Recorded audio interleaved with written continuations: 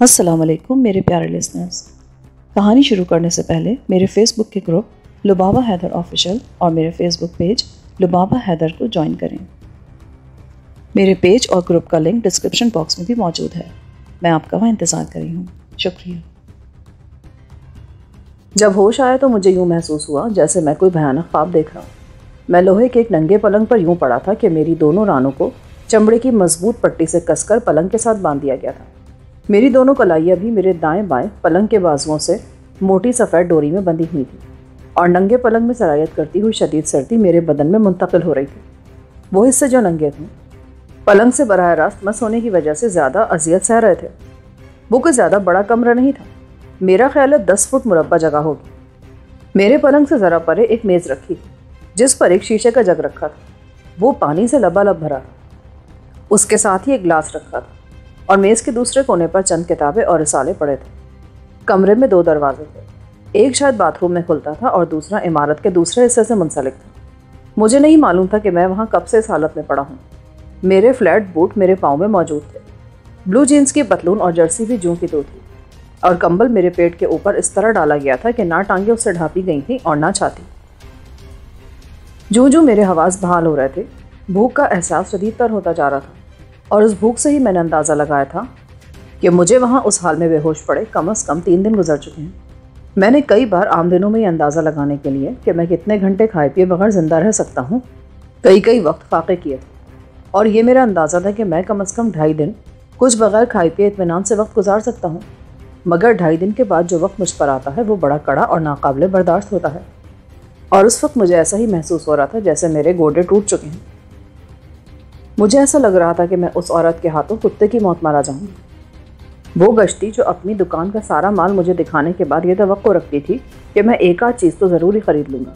मगर मैंने तो उसकी किसी शय को देखना गवारा तक नहीं किया था। और अब वो मुझसे जो सलूक भी करे वो कम होगा। मैंने खींच खाँच कर अच्छी तरह ज़ोर आजमाई करने के बाद ये अंदाज़ा लगा लिया कि मैं अपने जकड़बंदों को किसी तरह भी ना खोल सकूँगा। उस औरत ने मुझे अच्छी तरह कस कर बेबस कर दिया था और मैं तेज़ी से अपने अंदोनाक अंजाम की तरफ़ बढ़ रहा था।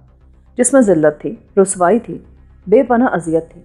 अपनी बहन की दबी कुशली ज़िंदगी, अपनी तमाम तर मजलूमियत समेत मुझे अपने सामने बरीदा सर बरहना नज़र आ रही थी। मैं उसके दुख का मदावा करने के लिए घर से निकला था, मगर हुआ यह था कि अपने ही जाल में फंस कर तबाह हो गया था। एक ख़ास बात जो मैंने उस कमरे में महसूस की, वो ये थी कि वहाँ चारों तरफ़ सिगरेट की बू फैली हुई थी, जिससे यह महसूस होता था कि वहाँ से कोई शख्स अभी उठकर बाहर गया था। मैं कोई आधे घंटे तक किसी कटे दरख्त की तरह चित लेटा छत को तकता रहा। मेरी समझ में नहीं आता था कि इस अजाब से किस तरह निजात हासिल करूँ। सबसे ज़्यादा तकलीफ़ मुझे इस एहसास से हो रही थी कि मेरी माँ और बहन मेरे यूँ घर से गायब रहने पर सख्त परेशान होंगी। सिगरेट की बू बराबर मेरे दिमाग को चढ़ रही थी, और इसी हिसाब से मेरी सिगरेट की तलब भी बढ़ती जा रही थी। मगर मेरे तो दोनों हाथ बंधे हुए थे, और अपनी जेब के बोझ से मुझे अंदाज़ा हो रहा था कि सिगरेट अभी तक वहाँ मौजूद है। अचानक मुझे महसूस हुआ जैसे मेरा मसाना फट जाएगा पेशाब मुझे इतनी ज़ोरों का लग रहा था कि बात बर्दाश्त से बाहर होती जा रही थी। मैंने अपने ऊपर बहुत जबर किया, मगर मेरी कोई पेश ना चली। आलिया, हैदर, कहाँ हो तुम? मेरे ये रस्सियाँ खोलो। मैंने बुलंद आवाज़ में उन दोनों को पुकारते हुए गंदी गाली उनकी तरफ़ लुढ़काई वो औरत शायद कहीं करीब ही खड़ी थी। मुझे एकदम दरवाज़ा खुलने की आवाज़ आई। उधर जो मैंने ध्यान दिया तो देखा कि सामने आलिया खड़ी है। वो बहुत खूबसूरत लग रही थी। खुदा जाने उसने अपने लिबास की तराश खराश पर कितनी मेहनत की थी। वो उस लम्हे छत्तीस कली का जरदोजी गरारा जरबफ्त की कमीज़ और उधर रेशमी दुपट्टा ओढ़े कोई मुगल शहजादी नज़र आती थी। दुपट्टे पर पुश्तमाही का जाल बना हुआ था। उसके कानों में कुंदन के झाले, गले में हैदराबादी जमायत का गुलूबन हाथों में जड़ाव जहांगीरिया, उंगलियों में पुखराज के छल्ले और पाँव में घुंघरुओं वाली पाजेबे थी। उसकी सजधज पर तो नज़र ही नहीं टिकती थी। खुदा जाने, वो किसको कत्ल करने निकली थी और कहाँ जा रही थी? उसे उस रंग में देखकर मैं हैरान रह गया। वो तो ऐसी ना थी। रात को जिस रंग में मैंने उसे देखा, वो उससे एकदम बिल्कुल ही जुदा नज़र आती थी। मुझे देखकर वो धीमे से मुस्कुराई। अजीब से अंदाजे दिलरुबाई से उसके सुरखोटों पर मुस्कुराहट की कली खिली। कैसे हो पहलवान? उसकी आँखों से अजीब सी रोशनी फूट रही थी। जैसे वो मुझ पर फतह पा लेने पर बेहद खुश हूँ। वो मेरे गिर्द घूमकर पायती में जा खड़ी हुई। अचानक उसने झुककर फर्श पर निगाह डाली और बोली, ये ये पानी कहाँ से आया है? उसकी आवाज़ काफ़ी बुलंद थी, जिसे गालिबा हैदर ने सुन लिया था। वो तेज़ी से अंदर आया और बोला, क्या हुआ है बीबी जी? ये पानी कैसा है यहाँ पर? ये मेरा पेशाब है। मैंने कहा तो वो मेरी बात सुनकर खिलखिला के हंस दी इतने ज़ोर से हँसी कि उसके कानों के झाले लरस गए। पेशाब निकल गया है पहलवान का। हद हो गई। इतने बड़े मज़बूत बाजू। ये चौड़ा चकला सीना, ये मोटी मोटी राने और तेरा पेशाब निकल गया। खौफ से निढाल हो गया अभी से तेरा ये हाल है तो आगे क्या होगा? मैं खौफजदा नहीं हूँ। मेरा ख्याल है मैं साठ घंटे तक बेहोश रहा हूँ। ऐसे में मसाने पर बोझ ना पड़ता तो क्या होता? मैंने बड़े तनतने से कहा, मालूम होता है तेरी अकड़फू अभी तक मौजूद है। खैर, कोई बात नहीं। देख लूँगी मैं। इसका ख्याल रखो, हैदर। और हाँ इसे खाना भी खिला दो और ये पेशाब साफ़ कर दो। अगर मुझे इसी हालत में रखना चाहती हो तो इस पलंग पर एक गद्दा डाल दो। मैं बेवजह बेआराम होना नहीं चाहता। मैंने अपनी आँखों में सारे जहान की संजीदगी भरकर कहा। वो हंस पड़ी। बेला वजह बेआराम होने की भी खूब कही तुमने। पता है तुमने मेरे मोती को मार दिया है। उस मोती को जो मेरे लिए अनमोल था। मैं तुम पर कुत्ते छुड़वा दूँगी। इसे अपने किए की सज़ा सहने के लिए तैयार करो, हैदर। मैं ज़रा डॉक्टर साहब के साथ जा रही हूँ। ये कहकर वो हवा के तेज़ झोंके की तरह बाहर निकल गई। हैदर चौहद्दों की तरह सामने कुर्सी पर बैठा मेरा मुँह तक रहा था। सुना नहीं तुमने कुत्ते के बच्चे? मेरे लिए खाना लाओ। वो गश्ती कह के नहीं गई थी क्या? गाली तो ना दोस्ता। अब तो बंधे पड़े हो, फिर भी हमारे को खौफजदा किए देते हो। वो वाकई लरस गया था मेरी आवाज़ से। मुझे सिगरेट सुलगा कर दो और फिर खाना ले आओ। मुझे सख्त भूख लगी है। मैंने उसे फिर से डांटते हुए कहा, इधर देखो, मेरी जेब में पैकेट धरा है। अगर उस हरामजादी ने निकाल नहीं लिया तो लाइटर भी यहीं कहीं होगा। निकालो उसे। हैदर डरते डरते उठ। उसने बहुत एहतियात से मेरे पतलून की जेब में हाथ डालकर सिगरेट और लाइटर निकाल लिया। फिर उसने एक सिगरेट सुलगाकर मुझे दी। तुम भी पियो। सुअर की औलाद, कितनी मनहूस शक्ल है तुम्हारी। अगर मैं रात में तुम दोनों को मार देता तो कितना अच्छा होता। वो मुस्कुरा दिया। गाली तो ना दोस्ता ऐसा ना हो हम तुम पर हाथ उठा लें। उससे कि बहुत बुरे हैं हम। ओए तेरे हम की तो? मैंने एकदम गरजते हुए कहा। तू क्या और तेरा गुस्सा क्या? जा दौड़ कर खाना ला उल्लू के पट्टे मैंने उसके खिलाफ अपनी ज़ुबान से नेज़े का काम लेते हुए कहा। वो अजीब सी सहमी सहमी नज़रों से मुझे देखता हुआ उठा। मालकिन कह गई है, वरना मैं तुम्हें बिल्कुल भूखा रखता। और देखो, एक गद्दा भी लेते आना। पता नहीं कितने दिन रखती है वो गश्ती मुझे यहाँ पर। ठीक है, गद्दा भी ला देता हूँ, उस्ताद। और कोई हुक्म? उसने मुझे ख़ास अंदाज में आँख मारी, जैसे वो मेरी बेबसी का मज़ाक उड़ा रहा हो। इसी तरह बाहर चला जा, वरना तेरी आँख फोड़ दूँगा। मैंने कहकर एक मोटी गाली उसकी तरफ़ उछाली तो वो तोबा तोबा कहता हुआ बाहर निकल गया। किस जलील से वास्ता पड़ा है अपना? वो दरवाजे से बाहर निकल कर बड़बड़ाया। मेरी जलालत, तुम लोगों ने देखी कहाँ है बच्चों? अभी तो पता नहीं क्या कुछ होगा यहाँ पर। मैंने दिल ही दिल में कहा, मुझे खुदा जाने क्यों यह गहरा यकीन था कि वो लोग मेरा कुछ नहीं बिगाड़ सकते? मुझे अपने आप को वहाँ बंधा देखकर कोई मलाल या खौफ महसूस नहीं हो रहा था। अंदर से मेरा दिल पूरी तरह मुतमिन था। और मुझे कोई ताकत आप ही आप ही एहसास दिला रही थी कि मैं वहाँ से साफ़ तौर पर बचकर निकल जाऊँगा। जाने क्यों अजीब अहमकाना एहसास था ये, जिसकी बज़ाहिर कोई वजह नज़र नहीं आती थी। कुछ देर बाद हैदर एक ट्रॉली धकेलता हुआ अंदर आ गई। वो खाने की चीज़ों से लदी हुई थी। ट्रॉली लाकर उसने मेरे पलंग के साथ खड़ी कर दी। ले उस्ताद, खा। बकवास ना कर, मेरे दोनों हाथ बंधे हैं। मैं खुद कैसे खा सकता हूँ? ये हाथ पैर तो मैं नहीं खोल सकता, क्योंकि पेटियों को ताले लगे हैं। अलबत् मैं तुझे उठाकर बिठा देता हूँ। तेरे मुँह में खुद लुक में डालता जाऊँगा बच्चे। कर उसने पलंग की वाइटी में लगे हैंडल को घुमाया, जिससे मेरा तकिया ऊपर उठा, और मैं पलंग पर इस तरह बैठ गया कि तकिया मेरे पीछे ढाल सा बनी। हैदर ने बड़ी एहतियात और नफासत से मुझे खाना खिलाया। वो मुर्ख खून कर लाया था। वो बहुत उम्दा खाना था, जिसमें मुर्ख भी था और नान भी। उम्दा कस्म का अचार भी और सलाद भी। और तो और वो साला हैदर मेरे लिए फिरनी भी ले आया था। तब मैं समझा कि हैदर के दिल में मेरे खिलाफ कोई नफरत नहीं है। बल्कि वो मेरे लिए अपने जहन में अच्छे और मोहब्बत भरे ख्याल रखता है। हालाँकि मैंने उसे बहुत जलील किया था, फिर भी वो मेरे साथ अच्छा सलूक कर रहा था। बड़ी हैरत की बात थी वो मेरे लिए। जब मैं पेट भर कर खा चुका तो उसने एक साफ़ सुथरे तौलिए से मेरे हाथ पहुँचे कुल्ली करवाई और जब वो पूरी तरह मुतमिन हो गया तो बोला, ले उस्ताद, अब मैं तेरी पतलून भी बदलता हूँ। तूने तो बच्चों की तरह पेशाब कर दिया है। ज़्यादा टर्टर ना कर। तुम सालों ने पता नहीं कब से मुझे बाँध रखा है। अब की बार मेरा लहजा खासा खुशगवार था, जिसे महसूस करके वो मुस्कुरा दिया खैर, मैं तुझे सिगरेट भी सुलगा दूँ, वरना तू फिर गाली देगा मुझे। है तो तू खासी जलील चीज़, उस्ताद। शरीफ आदमी का नुतफ़ा नहीं लगता तू। ये कहकर वो और ज़्यादा खुलकर मुस्कुराया और सिगरेट मेरे मुँह से लगाकर उसे आग दिखा दी। ओए तेरे नुतफ़े की औलाद तू क्या समझता खुद को सुअर के बच्चे? मैंने उसे फिर पूरी घनगरज के साथ गाली दी। वो सहम गया और नज़रें झुकाकर ट्रॉली को धकेलता हुआ बाहर निकल गया। फिर बोला पड़ा सड़ता रह तू यहाँ। अब मैं इधर नहीं आऊँगा उस्ताद। तू है ही कमीना। तेरा तो बाप भी आएगा बच्चे। तू क्या समझता है? मैं यूँ ही फंसा रहूँगा यहाँ। मैंने एक बार फिर बुलंद आवाज़ और दबंग लहजे में कहा, मगर वो मेरी बात ना सुन सका क्योंकि आगे निकल चुका था। सिगरेट उस लम्हे बहुत मज़ा दे रहा था, मगर मुसीबत ये थी कि वो जो हाथ, होठ और सिगरेट के दरमियान एक लतीफ़ सा ताल्लुक़ पैदा होता है, मैं उस लम्हे उस लज्जत से महरूम था। महज धुआँ आदमी की ज़रूरत नहीं होती। हैदर अपनी बात का धनी निकली वो कोई दो घंटे तक वापस ना आया। मैं भी चुपका पड़ा रहा। मैं उन्हें यह एहसास नहीं दिलाना चाहता था कि मैं अजियत में हूँ और उनका हरबा कामयाब हो रहा है। मगर जब दो घंटे गुजर गए और वो इधर ना आया और इस अरसे में मेरी गीली पतलून उस सर्द मौसम में मेरे लिए और ज़्यादा तकलीफ़ दे हो गई तो मैंने बुलंद आवाज़ से उसे पुकारा। हैदर अभी वो किसी गिदड़ की औलाद, इधर आएगा या नहीं? मगर उसने कोई जवाब नहीं दिया। मैंने उसे फिर आवाज़ दी। दो बार, तीन बार चार बार मैं मुसलसल उसे पुकारता रहा। जब दसवीं बार मैंने उसे एक नहायत ही खौफनाक कस्म की थानेदाराना गाली दी तो वो दरवाज़ा खोलकर तेज़ी से अंदर आ गया। वो मुस्कुरा रहा था। उसके एक हाथ में गद्दा था और दूसरे में लट्ठे की चादर। उस्ताद, तू गाली देने से बाज नहीं आएगा ओए चोलिस्तानी चूहे, तू ऐसा गायब हुआ कि ला इधर, मेरी पतलून बदल दे। उसने मेरे ऊपर कंबल अच्छी तरह डालकर मेरी पतलून उतारी, मगर मेरी रानें तो पेटियों में फंसी थी। पतलून कैसे उतर सकती थी?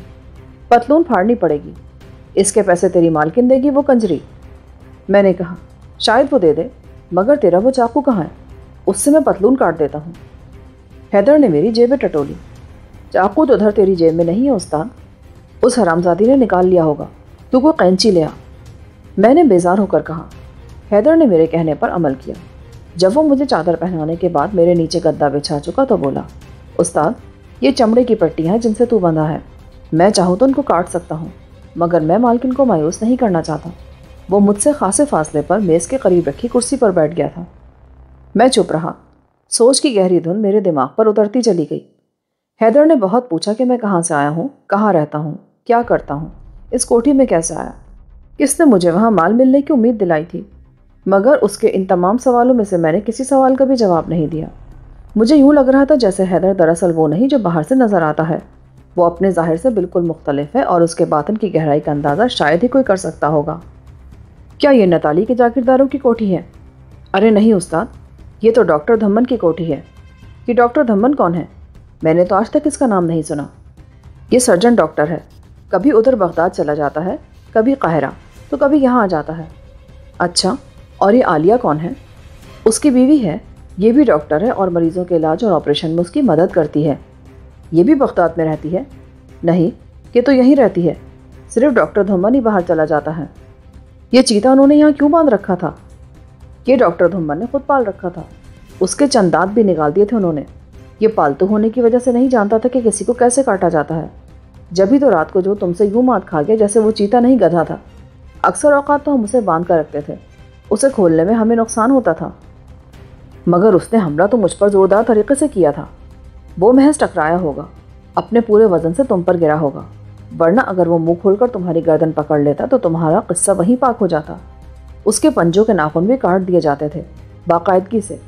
वो बिल्कुल बेजरर जानवर था।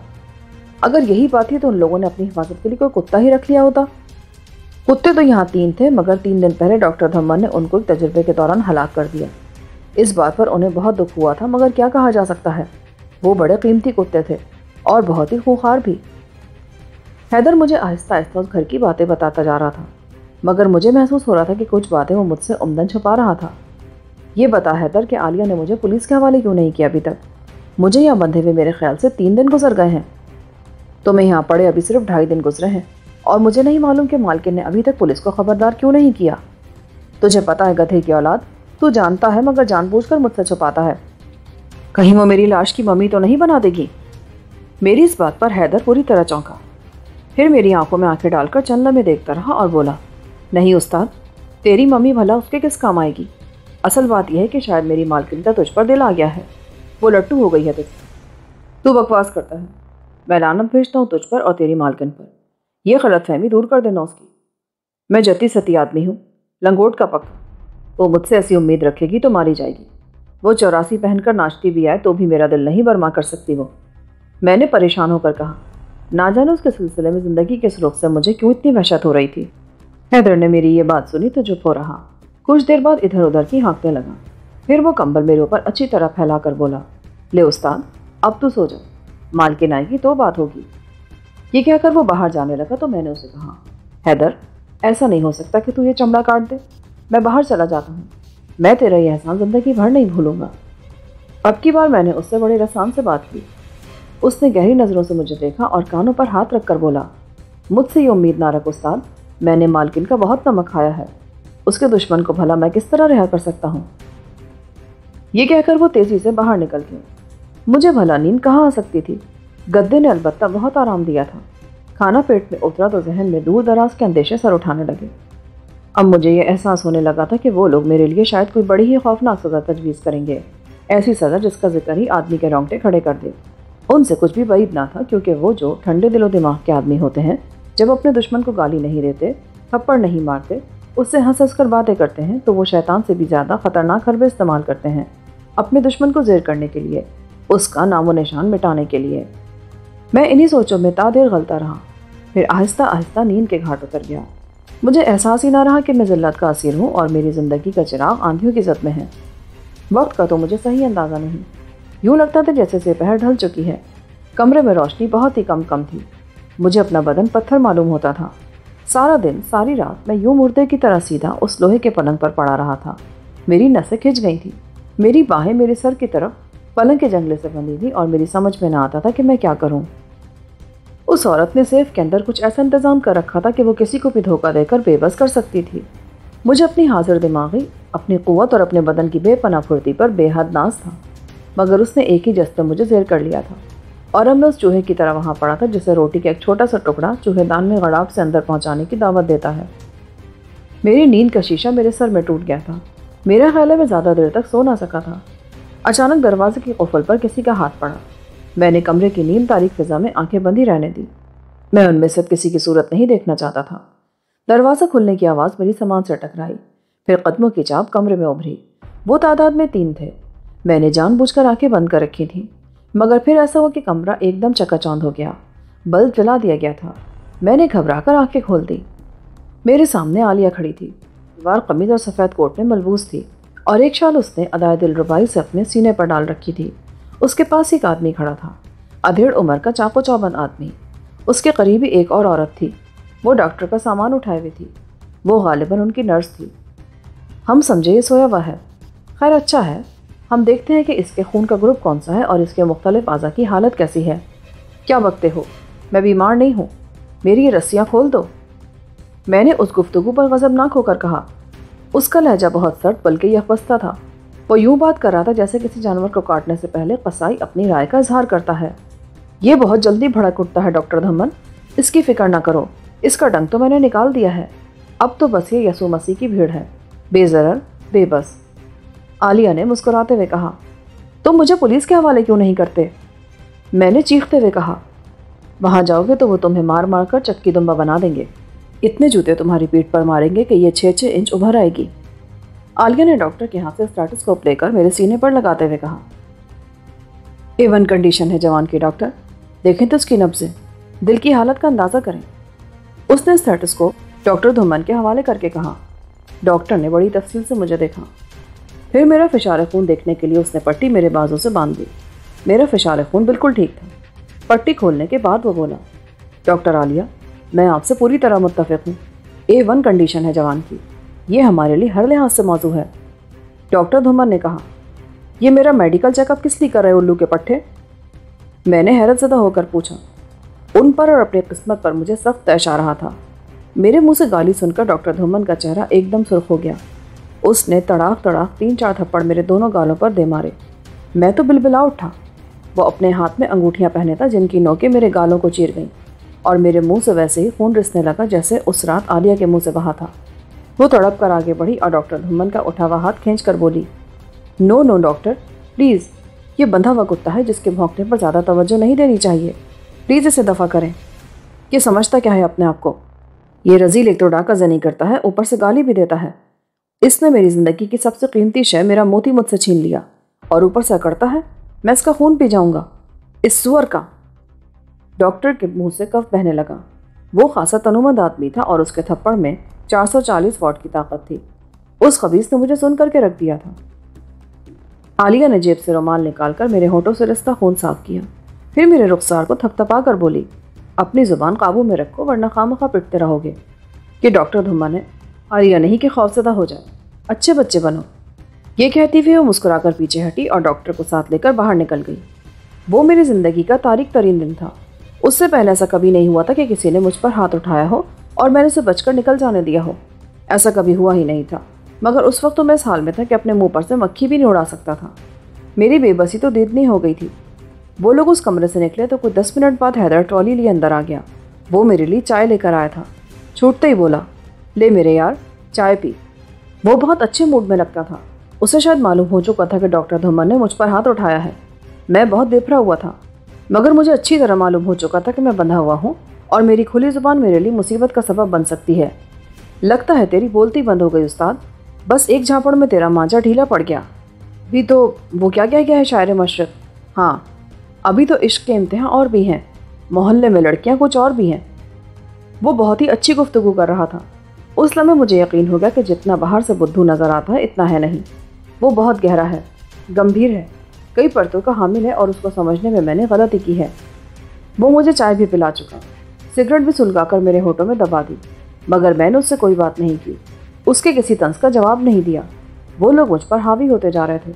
मेरे आसाब आहिस्ता आहिस्ता चटकते चले गए। अचानक मुझे अपने पेट में मरोड़ उठता महसूस हुआ। हैदर, मेरे लिए कमोड ला, या मुझे बाथरूम में पहुँचा दे। जल्दी कर, मैं बेख्तियार हो रहा हूँ। धत तेरे की। मरवा दिया ना तूने। अभी ये इंसानों वाली रानत अभी तक तेरे साथ लगी है। मैं तो समझता था तू कोई हीरो है। कोई सुपरमैन किस्म की चीज़ है जो चीते को मार सकता है, हैदर को चित कर सकता है, मगर लानत है तुझ पर। तू तो बिल्कुल ठुस चीज़ साबित हुआ। इतना कहकर उसने ज़बरदस्त कहकहा लगाया और बाहर की तरफ़ लपका। कुछ ही देर बाद एक बूढ़ी औरत कमरे में आई। वो गालिबा उनकी जमादारनी थी या घर की सफ़ाई सुथराई के लिए रखी हुई कोई और मुलाजमा। वो नाक पर यह बड़ा सा पल्लू लपेट कर मेरे करीब आई। मेरे तहबंद को सरका कर उसने कमोड मेरे नीचे रख दिया। कोई पाँच मिनट बाद वो फिर कमरे में आई। अब की बार उसके हाथ में एक पंप जैसी चीज़ थी। उसने सारे कमरे में स्प्रे किया, जिससे कमरे का ताफुन ख़त्म हो गया और सांस लेने में खुशगवार हवा महसूस होने लगी। कमरे में छिड़काव करके वो बाहर निकल गई। फिर ता देर वीरानी, तन्हाई और बेपना अजियत मेरे वजूद को सांप की तरह डसती रही। खुदा जाने वो मेरे साथ क्या करने वाले थे। मेरी समझ में कुछ नहीं आता था। फिर आहिस्ता आहिस्ता कमरा तारीख हो गया। बाहर सूरज गुरूब हो चुका था। उस कुर्रार्स की बत्ती बुझ चुकी थी। मेरे अंदर भी यही कैफियत थी। वहाँ भी लहजा लहजा अंधेरा फैलता जा रहा था और अपनी ज़ात, अपने दस्ते बाजू पर, अपनी बेपना क़वत बर्दाश्त पर जो मुझे अतमाद था, भरोसा था, नाज था, वो आहिस्ता आहिस्ता ख़त्म होता जा रहा था। कमरे में अंधेरा फैले खासी देर हो चुकी थी। मैं चाहता था कि हैदर को आवाज़ दूँ ताकि वो बत्ती जला दे, मगर इसकी नौबत नहीं आई। कमरे का दरवाज़ा फिर खुला। डॉक्टर आलिया और धुमन एक बार फिर अंदर आ गए। आते ही उन्होंने कमरे की बत्ती जलाई तो मुझे उनके साथ अब की बार एक और आदमी नज़र आया। वो भी शायद डॉक्टर ही था, क्योंकि वो भी सफ़ेद कोट पहने था। अब की बार वो लोग आपस में अंग्रेज़ी में गुफ्तु कर रहे थे। मेरा ख्याल है वो इस गलतफहमी में मुबतला थे कि मैं कोई चिट्टा अनपढ़ आदमी हूँ जो उनकी गुफ्तु को नहीं समझ सकता। वो तीसरा आदमी था, उसका नाम इरफान था। उसका लबो लहजा साफ़ बता रहा था कि वो पाकिस्तानी नहीं, अरबी है। वो मेरे ही बारे में गुफ्तु कर रहे थे, मगर उनकी बातें सुनकर मेरे दिल की धड़कन रुकने लगी। धुमन कह रहा था मैंने इसका अच्छी तरह मुआयना कर लिया है। मेरा ख्याल है, इससे बेहतर दिल गुर्दे का जवान हमें आइंदा पाँच साल में शायद ही मिल सके। कद काट के लिहाज से भी ये शेख सईद के बराबर है। इससे ज़्यादा मौजूद भी उन्हें और कहाँ मिलेगा? और उनकी ज़रूरत फौरी और अशद है। इसीलिए वो फ़ौरन यहाँ आए भी हैं। डॉक्टर इरफान बोला तो फिर ठीक है, कल सुबह इसका गुर्दा निकाल लेंगे। मैंने शेख सईद के आदमी से बात कर ली है। वो पाँच लाख रियाल देने को तैयार है। आलिया फड़क उठी। वेरी गुड, डॉक्टर इरफान कल ये किस्सा ख़त्म कर दो। मैं इसे आज ही रात क्लिनिक में मुंतकिल कर दूँगी। वो बहुत खुश नज़र आती थी। तो ये तय रहा कि चार लाख रियाल हमारे और एक लाख आपके। मुझे मंजूर है, डॉक्टर। बिल्कुल मंजूर है। ये कहकर डॉक्टर इरफान ने डॉक्टर धुमन से बड़ी गर्मजोशी से हाथ मिलाया। बंद करो ये बकवास, डॉक्टर धुमन। मैं तुम्हारी काल खिंचवा दूँगा। तू नहीं जानता कि मैं कौन हूँ और मेरे गिरोह के लोग कौन हैं। वो तेरी हड्डियों को सुरमा बना देंगे। तू मेरा ये ऑपरेशन नहीं करेगा। वो मेरी पायती में खड़ा था। मैंने पूरे ज़ोर से अपना पाँव उठाने की कोशिश करते हुए कहा ओ माई गॉड कि तो पढ़ा लिखा हैवान है। गॉड डैम इट आलिया का मुँह हैरत से खुला। फ़िक्र की कोई बात नहीं आलिया। हमारी बात कोई समझता है तो और भी अच्छा है। कि जहनी तौर पर अपने एक गुर्दे से महरूम होने के लिए तैयार हो जाएगा। आओ चलें। हम देखेंगे मिस्टर डाकू कि वो तुम्हारे गिरोह के आदमी कितने पानी में हैं। वो बहुत संजीदा नज़र आता था। डॉक्टर इरफान के पल्ले शायद कुछ ना पड़ा। वो उर्दू नहीं समझता था। इतने में हैदर अंदर आ गया। उसके पीछे वो नर्स भी थी, जो पहले आई थी। मेरा ख्याल है इसे टीका लगा देना चाहिए, ताकि ये रात को आराम से सो सके। आलिया ने कहा हाँ ये तजवीज़ अच्छी है। चंदन, ज़रा टीका लगा दे इस कुत्ते के बाजू में। कितनी जलील सूरत है इसकी। आलिया ने नहायत ही नफरत भरे लहजे में कहा, चार लाख रियाल की खबर ने उसके दिमाग की काया ही पलट दी थी। हालाँकि इससे पहले वो मुझसे नरम लहजे में बात करती थी। चंदन उन्हीं कदमों वापस गई और जब वो दोबारा कमरे में दाखिल हुई तो एक टीके से भरी सरंज उसके हाथ में थी। आलिया ने सरंज अपने हाथ में ले ली। धुम्मा ने मेरी कलाई को स्प्रिट से साफ़ किया और आलिया ने मेरी नस में सुई घोंप दी। दस सेकंड भी न गुजरे होंगे कि मेरा दिमाग वाफ होने लगा और फिर मैं हर एहसास से आरी होकर हर शय से लाताल्लुक हो गया। जब मेरे हवास बहाल हुए तो मुझे यूँ लगा जैसे कोई आहिस्ता आहिस्ता मेरे शौर और एहसास के बन डब्बे का ढकना ऊपर उठा रहा है। सारा बदन चल हो रहा था। नस नस में दर्द भरा था। मुझे इस हालत में पड़े पड़े शायद छियानवे घंटे गुजर चुके थे। मेरी कमर में शदीद दर्द उठ रहा था। कमरे में दिन की रोशनी फैल चुकी थी। बल्ब बुझा हुआ था। मेरा ख्याल है उस वक्त दिन के दस बजे होंगे। मैं कितनी देर तक क्यों ये बेहस हरकत पड़ा रहा। मैं हर तरफ़ से मायूस हो चुका था। अचानक कमरे का दरवाज़ा खुला और हैदर अंदर आ गया।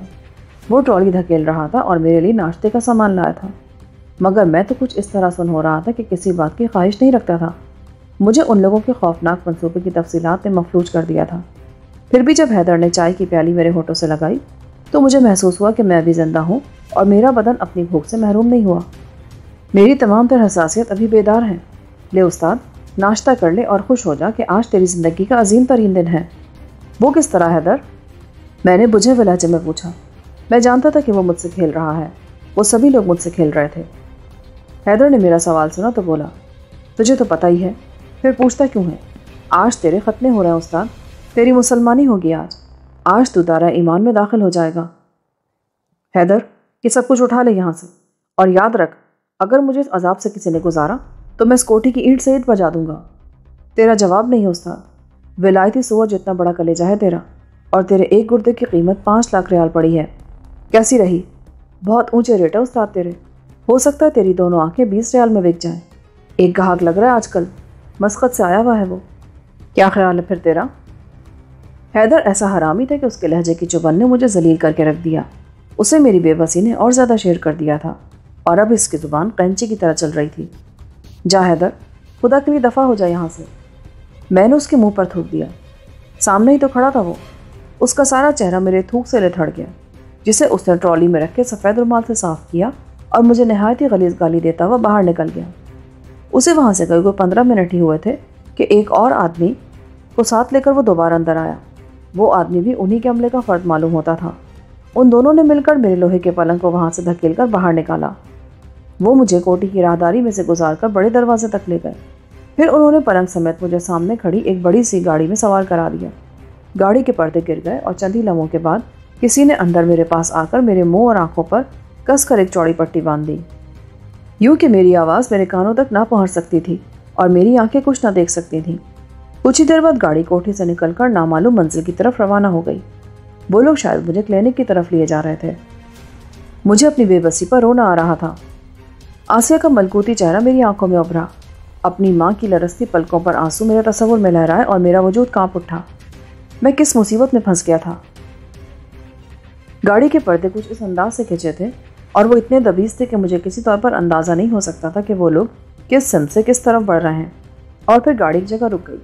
उसके पर्दे तेज़ी से उठा दिए गए। दो आदमियों ने मुझे पलंग समेत गाड़ी से उतारा और फिर पलंग के पाए फर्श पर नाचते हुए आगे बढ़ने लगे। फिर पलंग किसी जगह पहुँच कर रुक गया। वहाँ सन्नाटा तारी था। मैंने आने वाले लम्हों के तस्वुर से बुरी तरह लरस कर हाथ पैर मारने शुरू कर दिए। अरे, ये जानवर तो बिदक रहा है। इसे बांधो भाई। ये क्या कर रही हो तुम आलिया? प्लीज़ इधर तवज्जो दो। ये डॉक्टर धुमन की आवाज़ थी। इसे इंजेक्शन दे दो, चंदन, आलिया ने कहा। वो ज़रा फासले पर खड़ी थी और फिर मैंने महसूस किया कि किसी ने मेरे बाजू की नस तलाश करने के लिए उस पर कस कर रबर बाँध दिया है। जो ही मेरे बाजू की नस उभरी। चंदन ने टीका लगा दिया।